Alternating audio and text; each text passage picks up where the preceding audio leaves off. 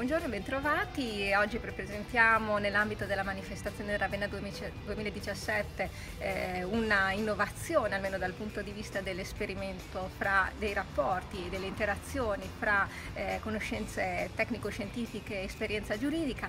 Eh, presenteremo il progetto FAR interdipartimentale promosso all'interno dell'Università di Modena con la partecipazione della Regione Emilia-Romagna.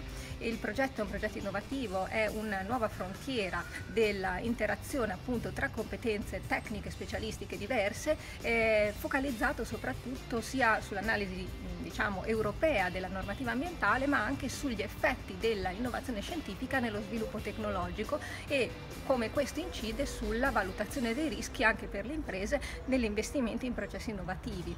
Preso atto anche che il fatto che la materia ambientale sia una materia molto attenzionata dal legislatore che comporta un dialogo con diversi stakeholders e con la partecipazione di cittadini, pubbliche amministrazioni, a volte l'investimento industriale in nuove tecniche per favorire lo sviluppo sostenibile diventa complicato.